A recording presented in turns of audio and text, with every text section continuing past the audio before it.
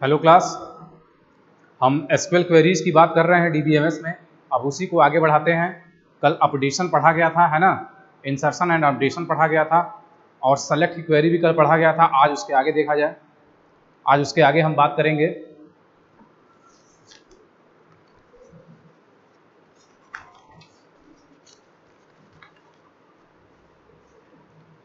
आज हम बात करेंगे क्वेरीज एंड सब क्वेरीज की, ठीक है? Queries and sub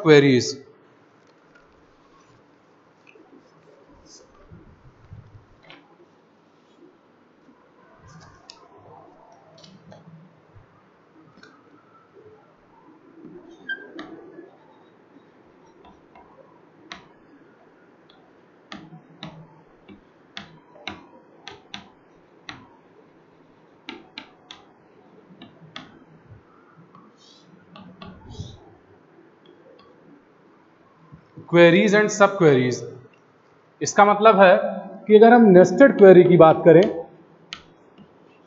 अगर हम नेस्टेड क्वेरी की बात करें, ठीक है? तो जैसे कल एक एग्जांपल बताया गया था। Update employee set salary equals to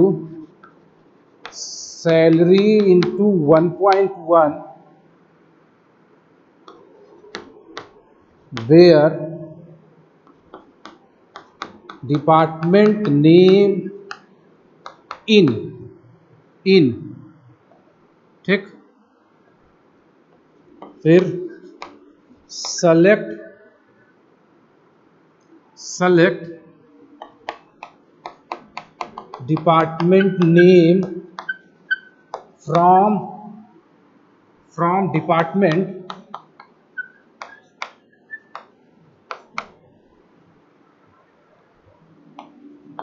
where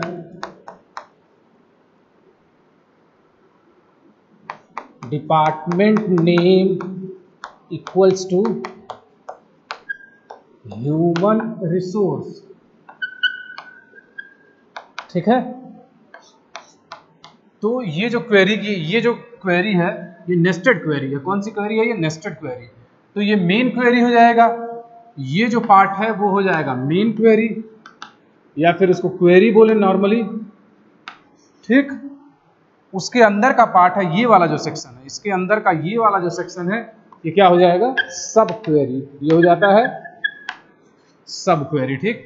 So queries and sub queries जब क्वेरीज को हम नेस्टेड पार्ट में डिवाइड करते हैं या फिर कोई एक ऐसा एसक्यूएल एक्सप्रेशन जिसमें हम नेस्टेड क्वेरी यूज़ करते हैं, वो कहलाता है सब क्वेरी और जो मेन क्वेरी होता है, वो क्या कहलाता है? क्वेरीज ठीक है? तो ये हो गया, अब उसके आगे देखा जाए। अब उसके आगे यूज़ करते हैं एग्रीगेट फ़ंक्शंस बात करते हैं एग्रीगेट फ़ंक्शंस की।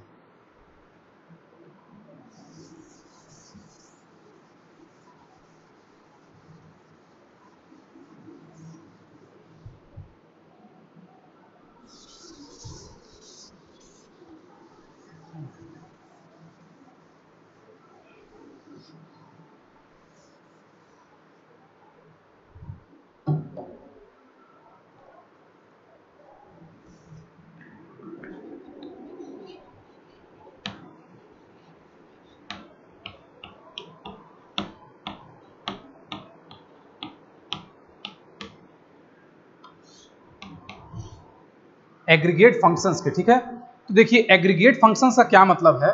जैसे इसके पहले हम और भी किसी भी किसी भी आप चाहे मैथ्स में चाहे और किसी में बात करें, अगर एग्रीगेट वैल्यूज़ की बात करते हैं तो क्या एग्रीगेट वैल्यूज़ क्या करता है? Collection of values as a input लेता है और उसका रिटर्न करता है single value collection of values as a input लेता है और उसको रिटर्न क्या करता है? सिंगल वैल्यू ठीक है? Takes collection of values. Collection of values as input and process करके किसमें कन्वर्ट कर देता है?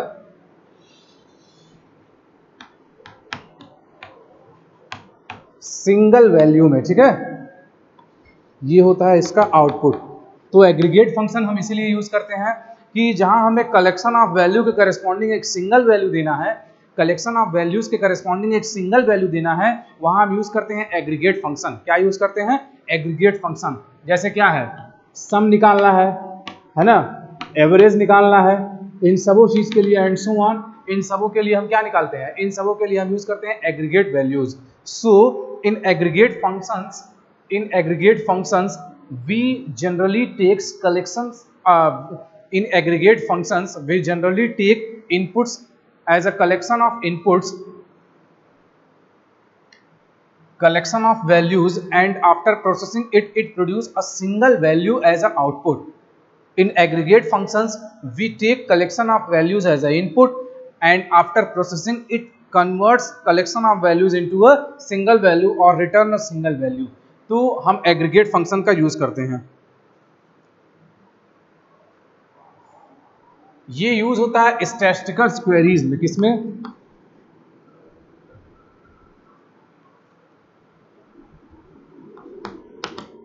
स्टैटिस्टिकल एनालिसिस में।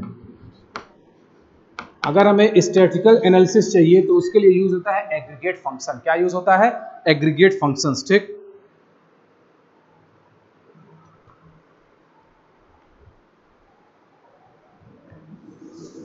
So what is aggregate function? Aggregate function takes collection of values as input and it return a single value as output. Generally there are five in uh, built-in functions offered by sql five inbuilt aggregate functions in SQL पाँच होते हैं aggregate functions फंक्स उसमें sequel में या फिर SQL में। Average average के लिए हम यूज़ करते हैं ईवीजी क्या यूज़ करते हैं? एवीजी एवरेज ठीक। Second one is total total के लिए हम यूज़ करते हैं S U M sum total के लिए क्या हम यूज़ करते हैं सम ठीक? तीसरा है मिनिमम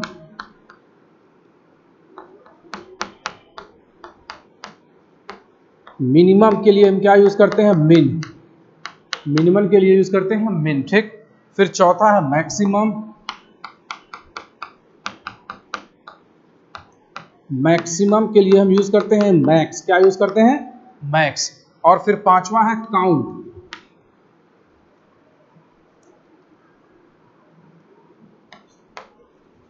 काउंट। काउंट के लिए हम यूज़ करते हैं C O U N T C O U N T count ठीक है? सो so, ये सारे क्या हैं? ये सारे aggregate build in aggregate functions हैं जो एसक्यूएल में यूज़ होते हैं। So what do you understand by aggregate functions aggregate in aggregate functions aggregate function takes collection of values as input and return a single value as output. Generally in SQL there are five inbuilt aggregate functions. First one is average that is represented by ABZ. Second one is total that is represented by SUM. Minimum that is represented by MIN. Maximum that is represented by MAX max. And last one is count that is represented by COUNT count. ठीक है अब बात इसकी है कि आखिर में ये होता क्या है एवरेज या फिर टोटल या फिर मिनिमम या फिर मैक्सिमम या फिर काउंट, ये होता क्या है, ठीक है? देखिए, एवरेज का मतलब क्या है कि क्या है? एवरेज का मतलब कि टोटल वैल्यू बाय उतना, अगर हमें पाँच नंबर पाँच स्टूडेंट्स का एवरेज मार्क्स निकालना है, अगर हमें डीबीएमएस में फाइव स्टूडेंट्स का एवरेज मार्क्स निकालना है तो हम क्या करेंगे?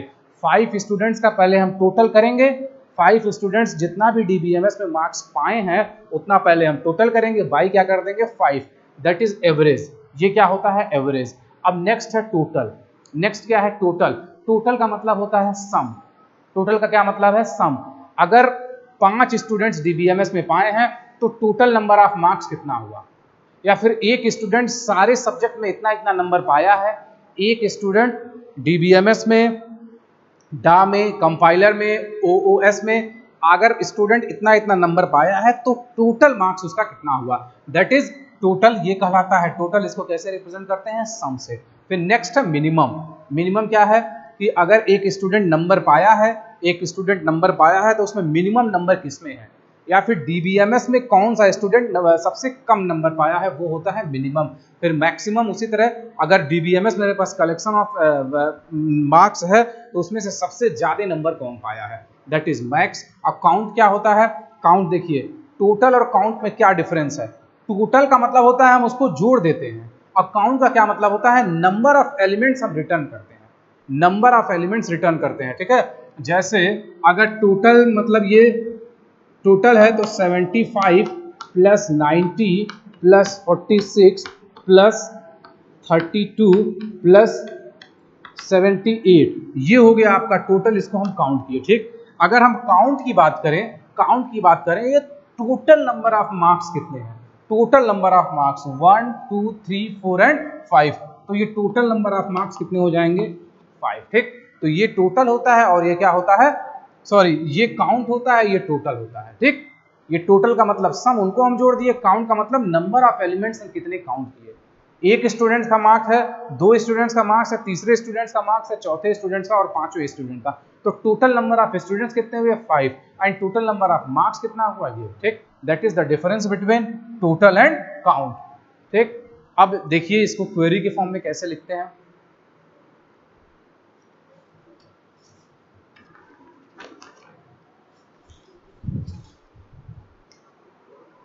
So there are five inbuilt function that is used for SQL average, total, min, max and count.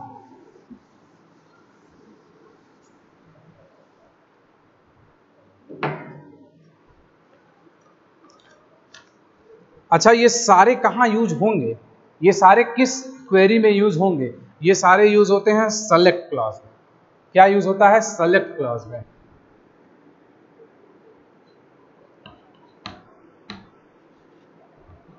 They are use with select clause they are use with select clause ठीक?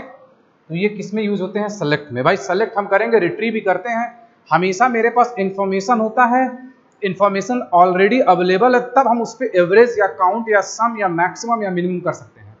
जब information मेरे पास रहता है, ठीक है? तो इसलिए किस पे यूज़ करते हैं? सेलेक्ट पे, ठीक? इसका सिंटेक्स देखिए। हम सेलेक्ट में ही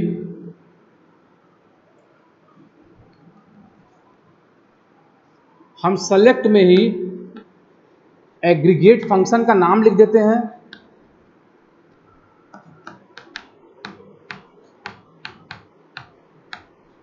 एग्रीगेट फ़ंक्शन का नाम और कॉलम नेम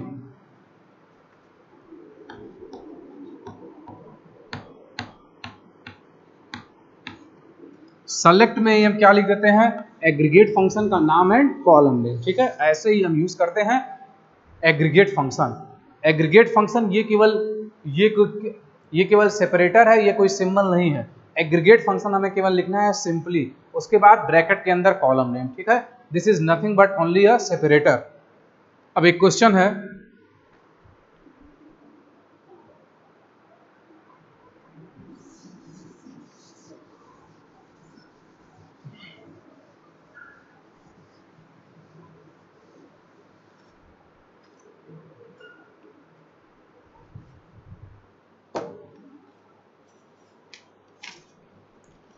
बार बार ये टेबल बनाना पड़ रहा है क्योंकि डेली नए वीडियो के टाइम में टेबल बार बार लिखना पड़ रहा है। फिर से उसी टेबल की बात करते हैं एम्प्लॉय टेबल एम्प्लॉय टेबल ठीक? कौन कौन से उसमें एट्रीब्यूट्स थे? ई आई डी था नेम था B date E I D name B date address salary department ID. Address salary and department ID. ये था, ठीक? अब इस पर क्वेश्चन देखा जाए।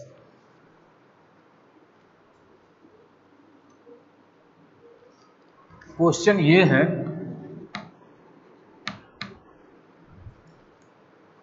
Find the average salary of all employees in human resource department.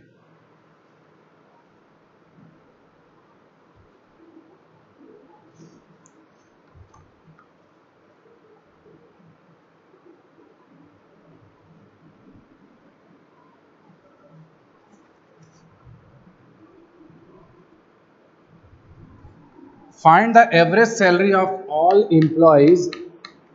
Find the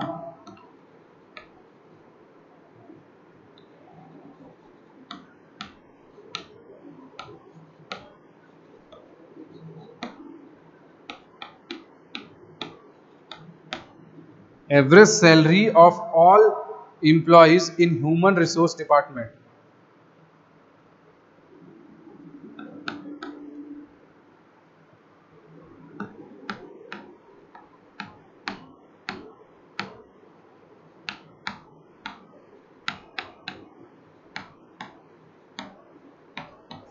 ठीक? इसका देखिए सोल्यूशन क्या होगा। सेलेक्ट क्या क्या हमें निकालना है? सैलरी ठीक है? किसका? एवरेज सेलेक्ट फिर क्या लिखे थे? एग्रीगेट फ़ंक्शन का नाम। एवरेज लिख दिए यहाँ। एवरेज ब्रैकेट के अंदर कॉलम का नाम। सैलरी फ्रॉम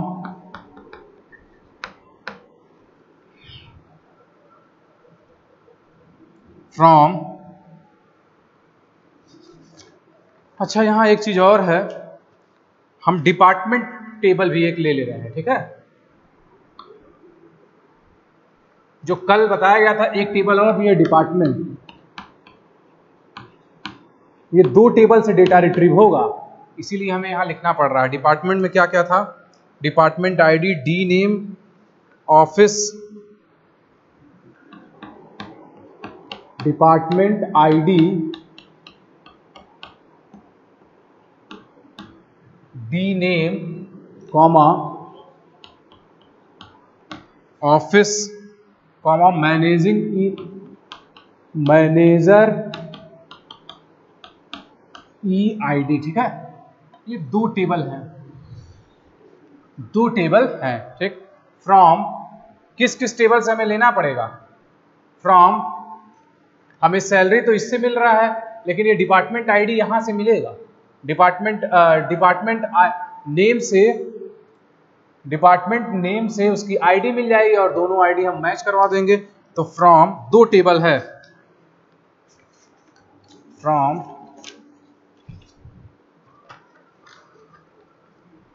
किस किस टेबल से? एम्प्लॉय टेबल से सैलरी मिलेगा। एम्प्लॉय टेबल से सैलरी मिलेगा। ठीक? और डिपार्टमेंट टेबल से हम आईडी को मैच करवाएँगे। Comma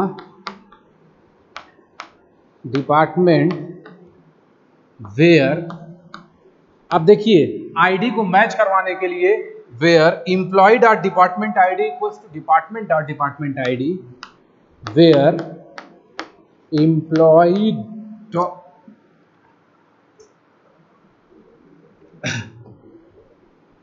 employee dot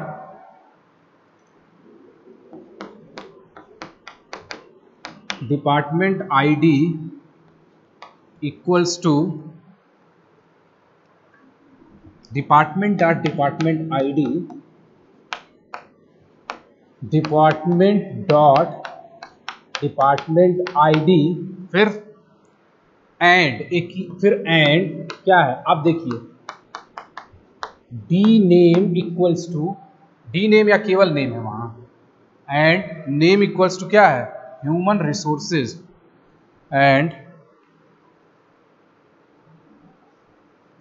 D dot name क्या लिखेंगे यहाँ? D dot name equals to क्या है? ह्यूमन रिसोर्स ठीक? ये रिट्रीव करेगा। क्या करेगा? एवरेज सैलरी रिट्रीव करेगा, ठीक है? फ्रॉम दो टेबल से रिट्रीव हो रहा है डेटा इंप्लॉय एंड डिपार्टमेंट से। अब उन दोनों को मैच जब भी ये दोनों मैच करवा रहे हैं हम, देखेंगे इसको मैच करवाएँगे तो ये नेम इस नेम से ये आईडी निकल जाएगा और ये आईडी और ये आईडी सेम होगी, ठीक है? तो उसी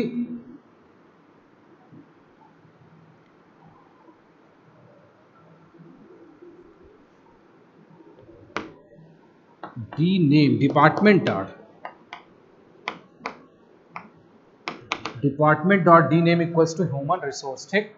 तो जब हमें दो टेबल से वैल्यू मैच करवानी है तो employee dot department I D equals department dot department I D हम ये लिखते हैं, हम ये लिखते हैं जिस टेबल से, जिस टेबल से जो एट्रीब्यूट उठा रहे हैं और जिस टेबल के करस्पॉन्डिंग हम इक्वल करवा रहे हैं, वो लिखते हैं। तो employee dot department I D equals to department dot department I D department name equals to human resource department name क्या है? ह्यूमन रिसोर्स है। ठीक? तो ये हो गया एक। अब देखिए।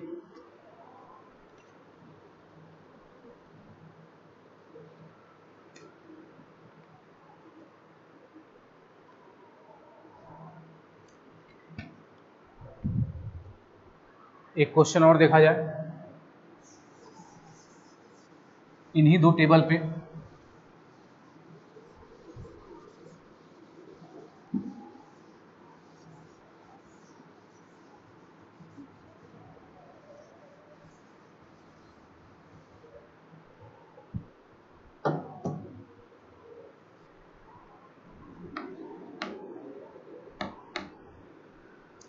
Find the number of employees works for department human resource. Find the number of employees works for department human resource works for department human resource human resource ठीक? फिर से हमें डेटा को दो टेबल से रिट्रीव करना है। दो टेबल से रिट्रीव करना है। फिर से वही डिपार्टमेंट आईडी से उसका नेम निकल जाएगा और उस नेम से हमें भाई ये डी नेम दिया है। डी नेम से हमें डिपार्टमेंट आईडी मिल जाएगी। इस डिपार्टमेंट आईडी से इस डिपार्टमेंट आईडी से हम क्या निकाल लेंगे? इस डिपार्टमेंट आईडी से हम क्या निकाल लेंगे? इसकी ई e आईडी निकाल लेंगे और उसी ई e आईडी को हमें क्या करना है? रिटर्न करना है या रिट्रीव करना है, ठीक? तो देखिए, इसमें क्या लिखेंगे? सेलेक्ट अच्छा हाँ एक चीज़ ये भी है। अब देखिए find the number of employees इसका मतलब हमें क्या निकालना है? टोटल नंबर ऑफ़ एम्प्लॉयज़ निकालना है। तो इसके लिए कौन सी क्वेरी चलेगी? इसके लिए क्या सम चलेगा या काउंट चलेगा? सम या काउंट। अगर हमें वैल्यूज़ को जोड़ना है, अगर हमें वैल्यूज़ को जोड़ना है तो उसके लिए हम क्या चलाते हैं? सम चलाते हैं। अगर वैल्यूज़ को जोड़ना है तो उसके लिए सम चलाते हैं। अगर हमें क्या करना है? उन total number of values find करना है। Total number of elements find करना है तो उसके लिए हम काउंट चलाते हैं। क्या चलाते हैं? काउंट तो यहाँ देखिए, इसके नाम से ही क्लियर हो रहा है। नंबर ऑफ़ एम्प्लॉयज़ मतलब क्या करना है? हमें उनको जोड़ना है, उनको काउंट करना है, ठीक है? मतलब टोटल नंबर ऑफ़ एम्प्लॉयज़ कितने हैं तो इसके लिए यहाँ क्या चलेगा? काउंट चलेगा, ठीक? तो सेलेक्ट क्या? Count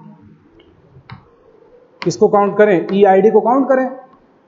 E I D from table name क्या है? किस किस टेबल से? Employee and department from employee employee को एब्रीविएट कर दिए ई e से एक तरीका ये भी है टेबल को शॉर्ट फॉर्म देने के लिए या टेबल के एब्रीविएशन के लिए हम इम्प्लॉय को ई e से डिफाइन कर दिए, ठीक है? जैसे ही हम लिखेंगे फ्रॉम इम्प्लॉय एक स्पेस दे के ई लिखेंगे तो इसका मतलब ये समझ गया क्वेरी ये एसक्यूएल समझ गया कि इम्प्लॉय को आप किससे एब्रीविएट कर रहे हैं? ई e से एब्रीविएट कर रहे हैं, ठीक? From employee E comma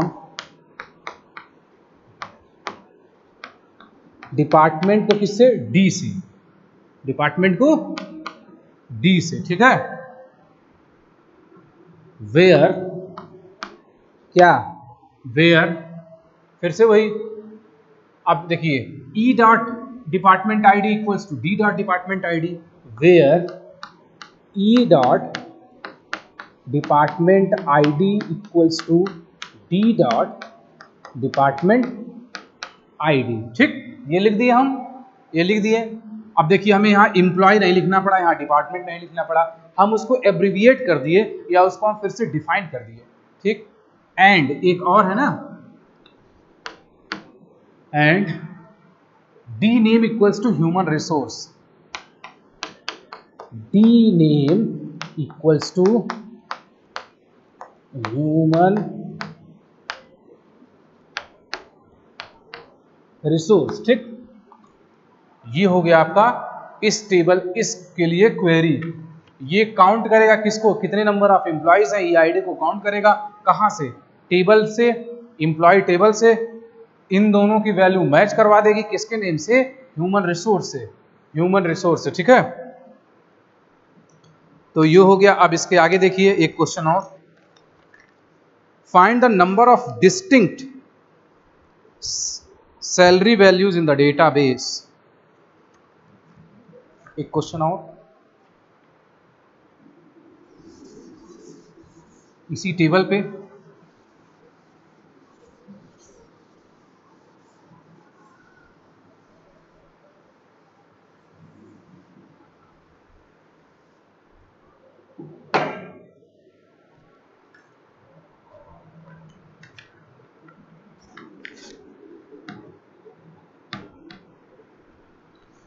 count the number of distinct salary. Count the number of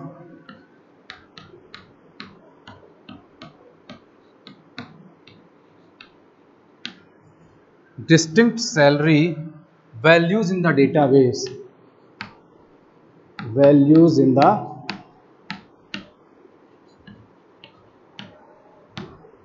database ठीक? इसका मतलब ये है, किसी की सैलरी 12000 किसी की फिर सैलरी 12000 फिर किसी की सैलरी 12000 किसी की सैलरी 13000 किसी की सैलरी 16000 फिर किसी की सैलरी 16000 तो हमें डिस्टिंक्ट काउंट करना है मतलब यूनिक वैल्यू को काउंट करना है। मतलब अगर 12000 तीन लोग पाते हो लेकिन उसको कितनी बार काउंट करेगा? एक ही बार काउंट करेगा। डुप्लीकेट को हटा देना है। डुप्लीकेट को क्या करना है? हटा देना है, ठीक है? तो इसीलिए यूज़ किया है डिस्टिंक्ट तो total number of distinct values ठीक? तो इसको क्या लिखते हैं?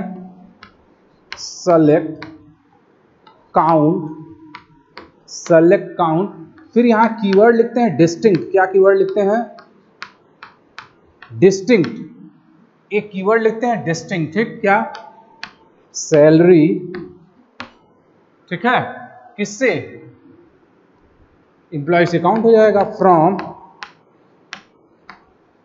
इम्प्लॉय कोई कंडीशन दिया है क्या? नहीं, कोई कंडीशन नहीं दिया है। कोई कंडीशन नहीं दिया है तो इसीलिए वेयर का यूज़ करेंगे ही नहीं। ठीक? तो ये क्या रिटर्न करेगा? ये हमें टोटल नंबर ऑफ़ सैलरीज को रिटर्न करेगा।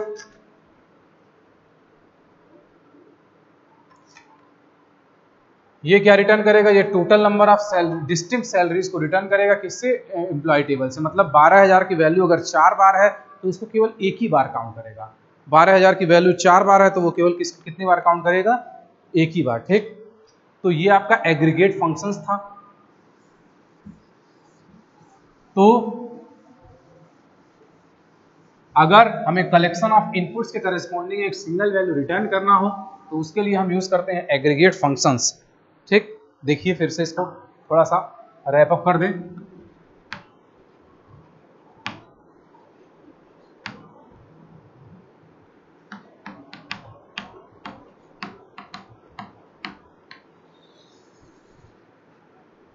पहला क्या है? एवरेज फिर? फिर? टोटल फिर? मिनिमम फिर? मैक्सिमम फिर? काउंट। ठीक? इसके लिए क्या यूज़ होता है? A V G. इसके लिए क्या यूज़ होता है? Sum, S, U, M. इसके लिए क्या यूज़ होता है? मिन। इसके लिए क्या यूज़ होता है? मैक्स। ठीक? इसके लिए क्या यूज़ होता है? C, O, U, N, T. Count. ठीक है?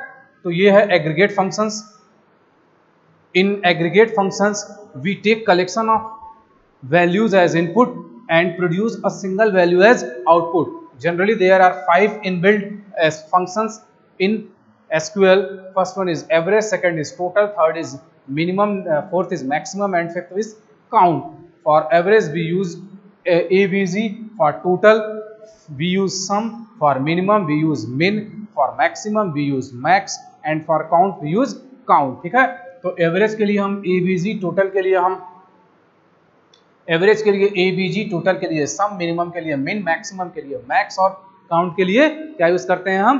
Count C O U N T ठीक है? तो ये था आपका एग्रीगेट फ़ंक्शंस आज का लेक्चर हम यहीं खत्म करते हैं। अब इसके आगे नेक्स्ट वीडियो में। Thank you